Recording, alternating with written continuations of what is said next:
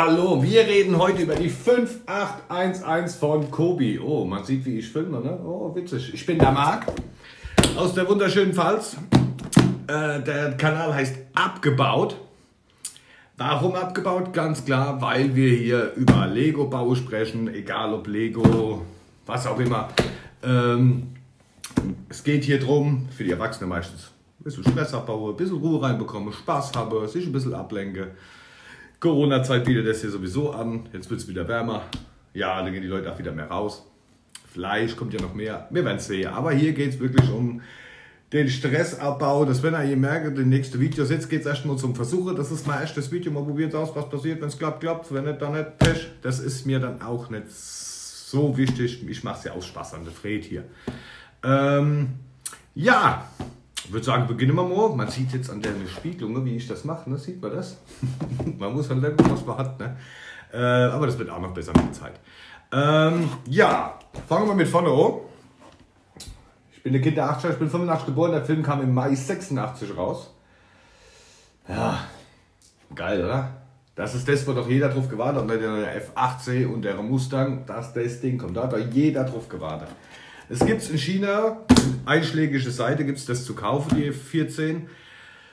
Nicht in dieser Qualität, definitiv nicht. Ich habe sie getestet und genauso sind sie wieder weggegangen. Also, mm, das war nicht zum Vergleich, nachdem ich die F18. Kommen wir alles später dazu. Ähm, ja, sie haben viel besser gemacht zu F18, da kommen wir jetzt aber gleich zu. Fangen wir beim Karton aber vorne an. So muss es sein. Kein großer Schnickschnack, die Warnung für Dreijährige und so weiter. Ähm, wegen verschluckbare Teile, Skala 1,48. Mehr muss nicht sein. Das ist schön die Verpackung, wenn man es sich aufheben will, falls wegen Sammler oder wie auch immer. Macht Sinn. An der Seite haben wir die Figur Nummer 1. An der zweiten Seite Figur Nummer 2 und so weiter. Ähm, normalerweise steht oft an der Seite äh, das mit den Aufkleber, dass keine drauf sind und EU und Schlag mich tot. Oben, unten und da ist ein ja, für Informationen. Kann man gerne mal drauf gucken. Ganz interessant.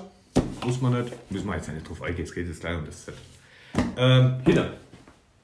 Sieht man alles nochmal Ding. Natürlich hier mit den äh, All Pad Printed, ne? Ist klar.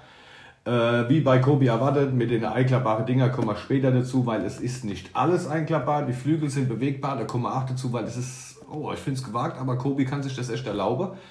Ähm, und was ich ganz krass fand, dass das ein Hersteller drauf schreibt, dass es kompatibel ist mit allen anderen Herstellern, wo in dieser Größe fertigen. Muss man erstmal machen. Also Respekt an Kobi, dass die den Mut beweisen. So viel zur Verpackung. Ich finde sie toll. Mich hat es gefreut, wie ich sie gesehen habe, wie sie gekommen ist. Ähm, ich habe sie vorbestellt. War mega toll. Ich habe mich darüber gefreut. Sie ist gekommen und natürlich ah, ich bin da sowieso ein kleines Kind. Auspacke, Freue und Attacke und ich bin ja keiner, wo jetzt das Set wie viele andere äh, kauft, dann erstmal neben hier legt und dass sich 30 Millionen Sets kauft und die dann da hier stellt und dann, oh nee, da komme ich sicherlich in den Disput und dann will ich bauen und dann will ich das bauen und dann hole ich mir sie lieber nach und nach und dann baue ich sie auch gleich. Das ist wirklich, bei mir kommen sie, ich mache Feierabend und dann geht's los.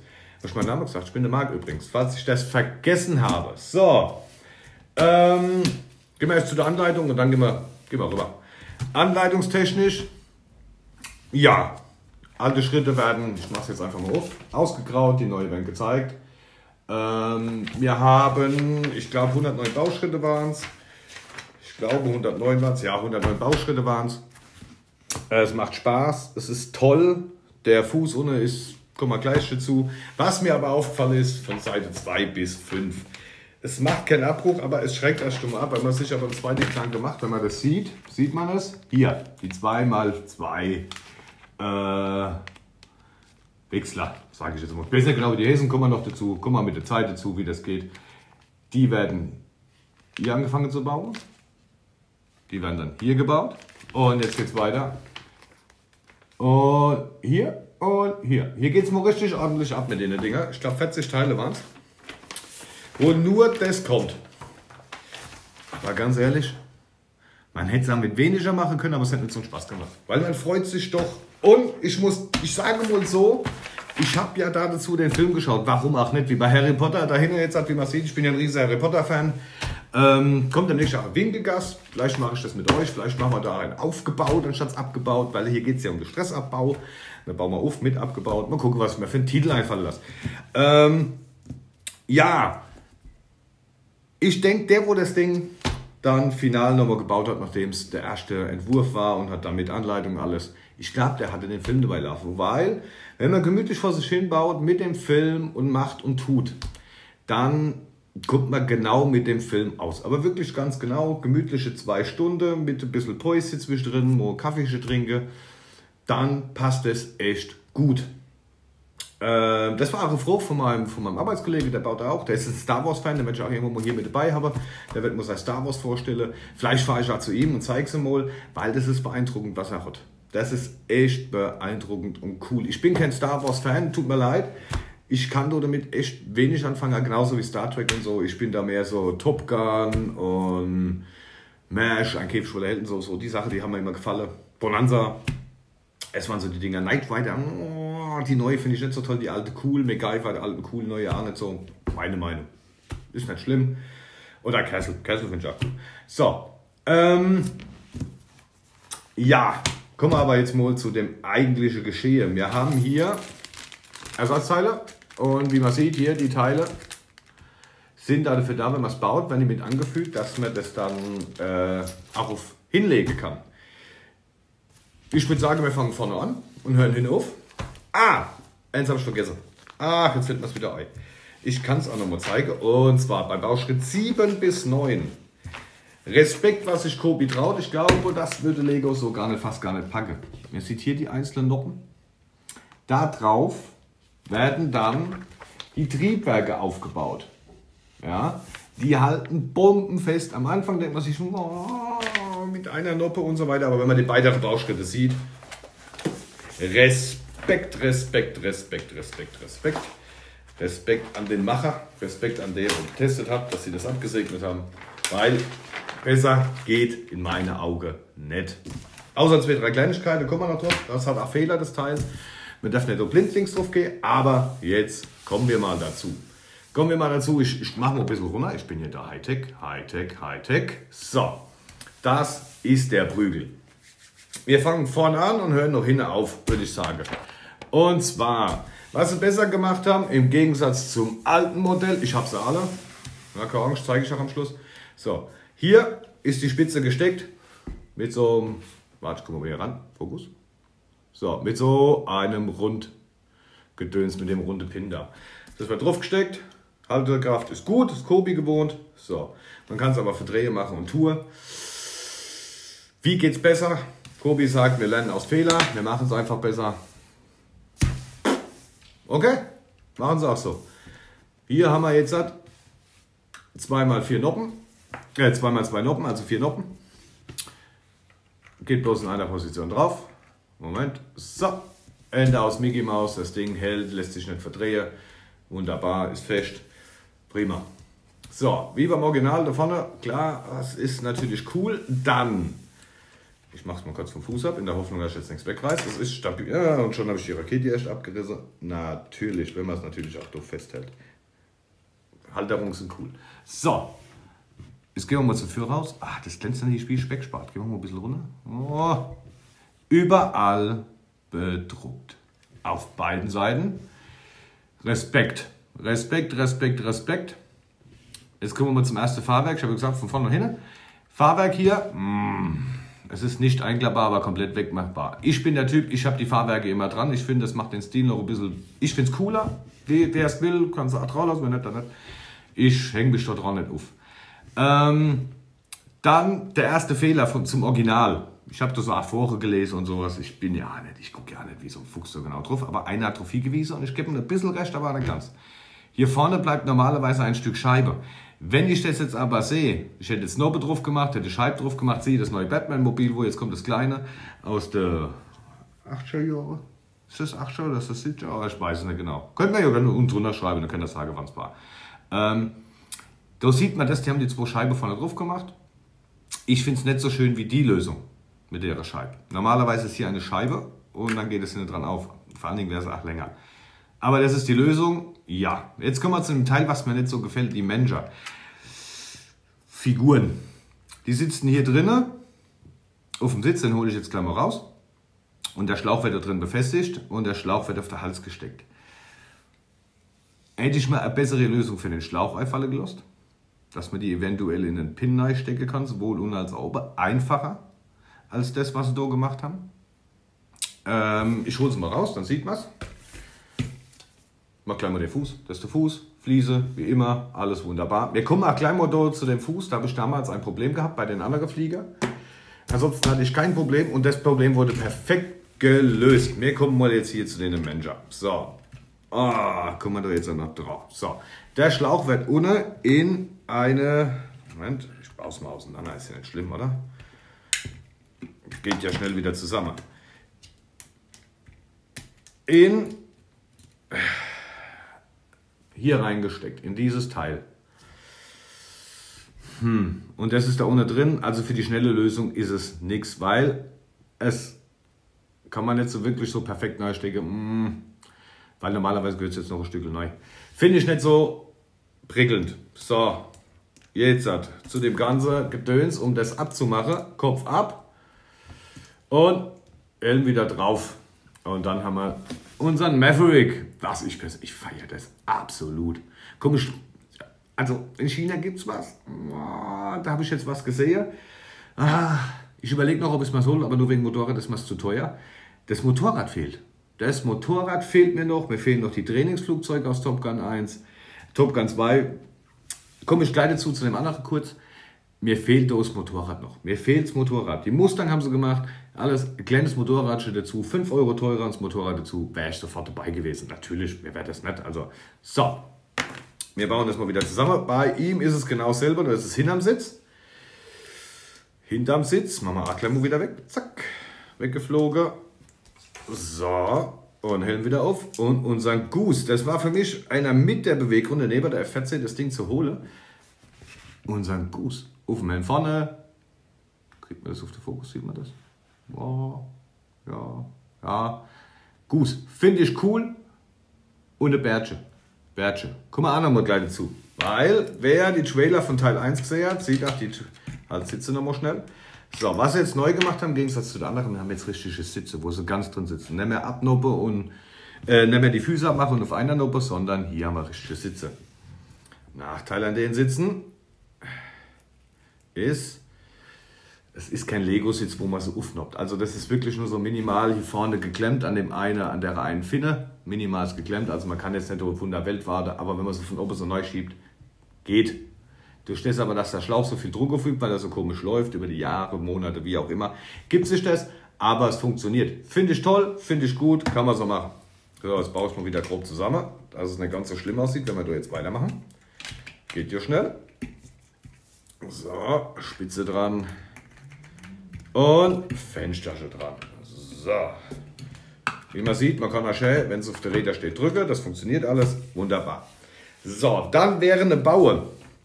Coole Bautechnik ist, hoppala, man soll es dann an die Spitze aufnehmen. Also Glemmkraft ist top, kann man echt nichts sagen, das war wieder blöd genommen von mir. Wie man sieht, das hier ist leicht schräg, wie beim Original auch. Ähm, oh, ich das jetzt? Hier oben sind Fliese drin. Die halten das unter Spannung, weil das wird ganz normal angeklipst, wie immer. So, die Lüftungen sind auch coole Bautechnik, es sind keine Fehler drin oder sonst was ähm, in der Bauleitung. Also wirklich, man kann es wirklich nonstop danach bauen. Es ist manchmal selbsterklärend, aber manchmal muss man auch ein bisschen gucken, weil verschiedene Teile unterschiedlich lang sind und verschiedene Bögen haben. Wie hinter der Triebwerk oder hinter der Abschluss oder die Seite.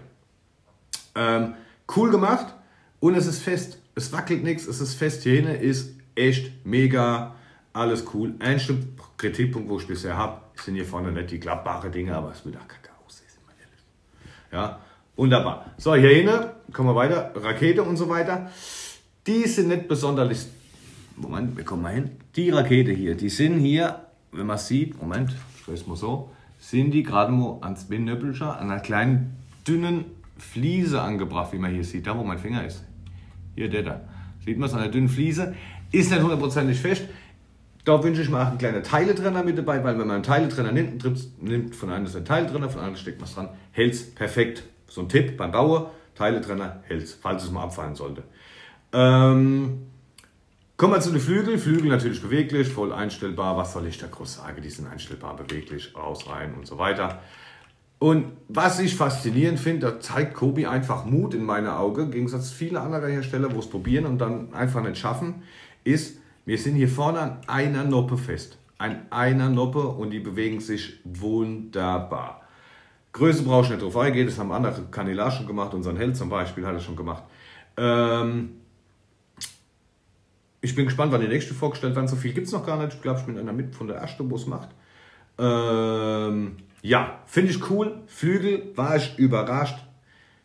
Was für Risikos eingehen. Mit der großen Fliese hält es natürlich hier auf sehr viel Nobbe, ich kann es jetzt nicht genau sagen, und dann eine Nobbe wird fixiert hier für die Fliege, Flügel und es funktioniert tadellos. Das hier sind schöne Teile, bedruckt, bedruckt, bedruckt. Wir haben insgesamt zehn bedruckte Teile, ja, mit allem drum und dran, ohne die Figuren. Haben wir zehn bedruckte Teile. Ähm, sogar hier neben, wo man es kaum sieht, hier neben ist auch ein bedrucktes Teil. Flügel kommen wir noch dazu. Finde ich top. So, Rakete und so weiter. Klar, haben wir alles, ne? Haben wir alles. Alles wunderbar.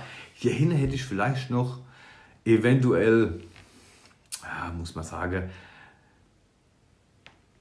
Flamme oder so, irgendwie was, dass man da so. Ich denke, da würde was gehen, dass man das noch ein bisschen cooler gestalten könnte.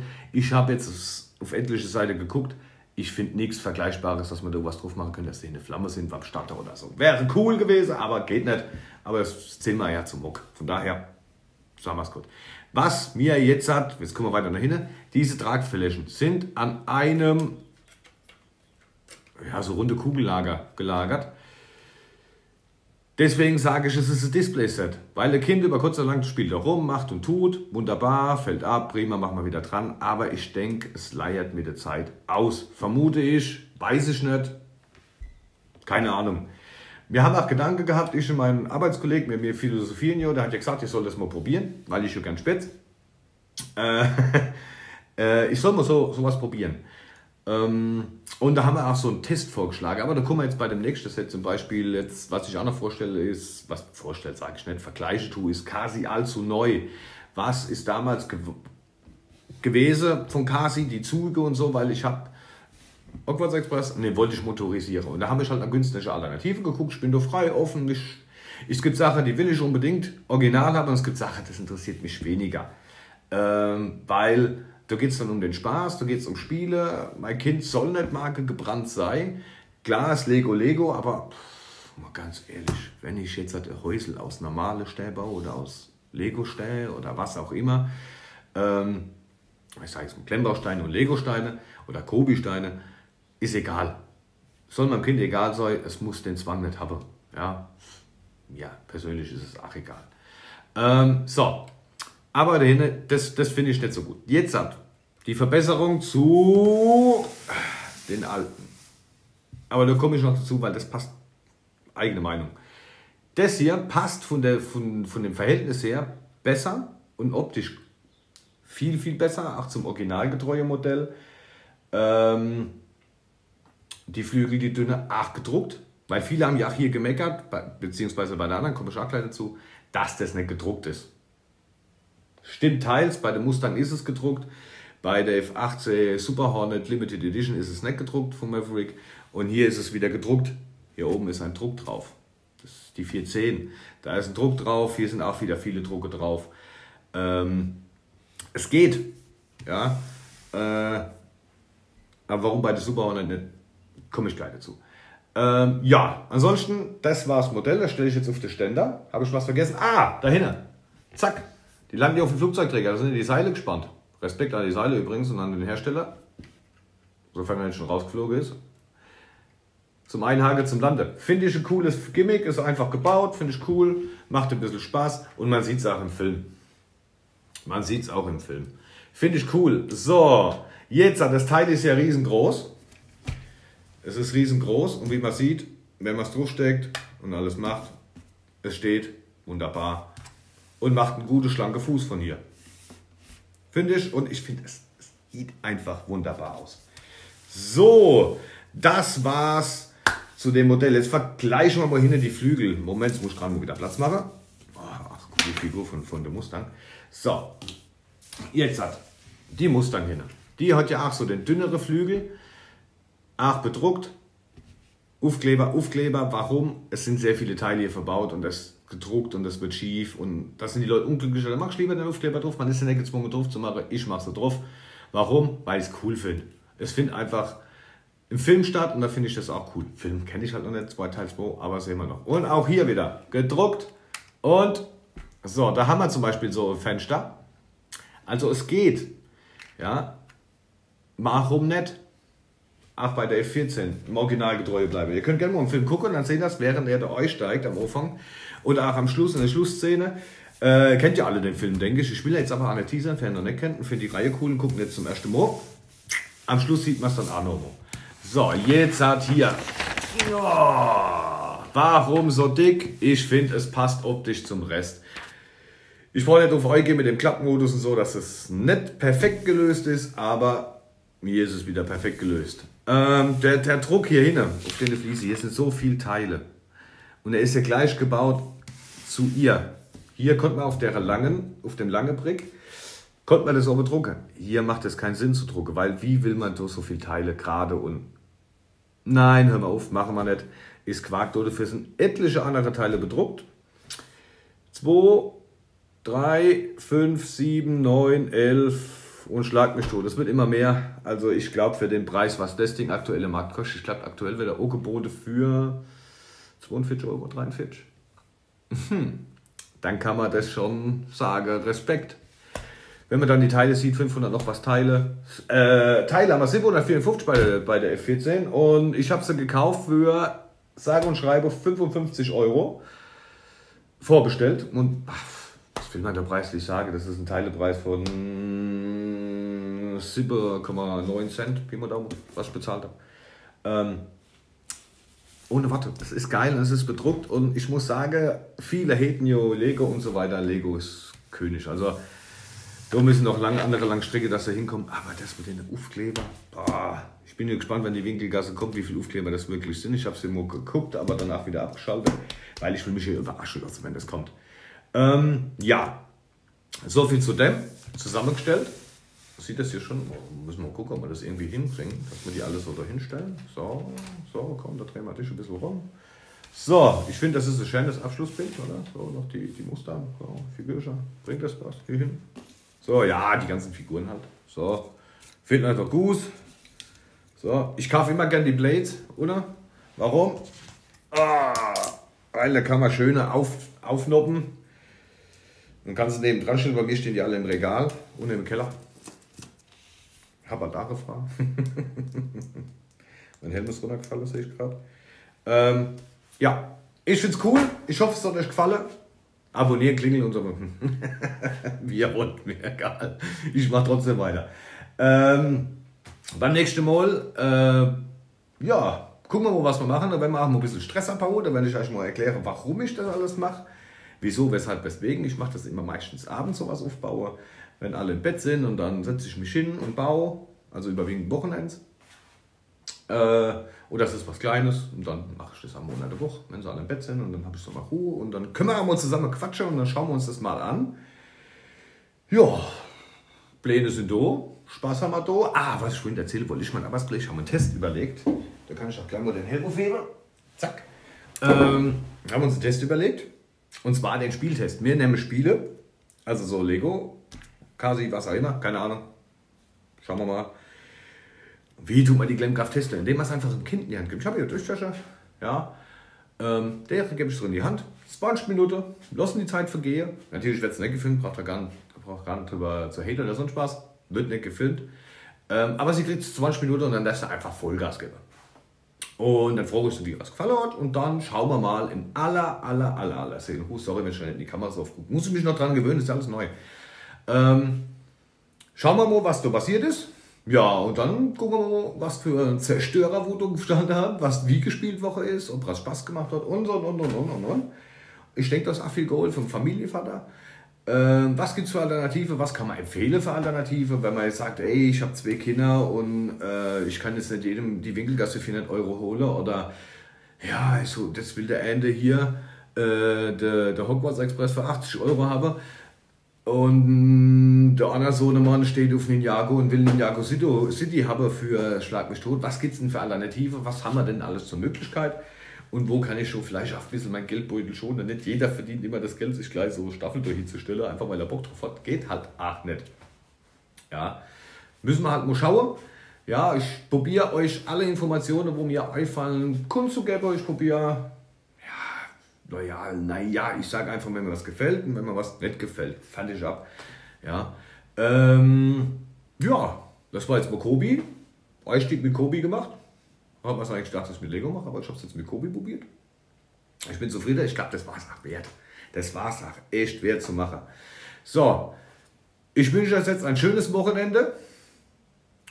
Halt, Moment, wir haben Samstag, ne? Hm, wünsche ich euch jetzt ein schönes Sonntag, ein schönes Sonntag. Es geht jetzt Sonntagmorgens, also ich mache das One-Cut und hau rein und filme raus. Ich will nicht schneiden, mache und tue. Ich kann es, schneide kriegen wir hin, aber ich will es einfach nicht. Ja? Immer durch, Fehler gehören zum Leben, so werden wir auch gemeinsam besser. Ja? Wenn ihr Verbesserungsvorschläge habt und sagt, hey, probiert mal, probieren wir das, das, das, das, das. Und ich kann es auch umsetzen, weil es ist ja alles selbstfinanziert hier. Ich will da mit kein Geld verdienen oder sonst was. Das mache ich anders da auf der Arbeit ja, das ist mein Hobby und ich will das dann nebenbei machen und ungezwungen und ich plane nur einmal die Woche sowas zu machen. Ja, und wenn es funktioniert, es gut, wenn nicht, dann nicht. Ja, dann ist es so. Fertig. Ja, so, in diesem Sinne wünsche ich euch jetzt einen schönen Sonntag. Das war's bei uns zum Sonntag, klasse, oder? Äh, ein Kollege hat zu mir gesagt, du brauchst schon Message. Äh, Message. Habe ich keine. Ich finde, es ist für jeden. Ja, und es ist egal, was drauf steht. Ja, ich glaube, die Message ist ja schon gäbe, dass es dass man nicht arge gebunden denken soll, sondern einfach offen sein soll und Spaß haben soll und das macht es hier, wie man sieht. Mir macht es auf jeden Fall Spaß. In diesem Sinne,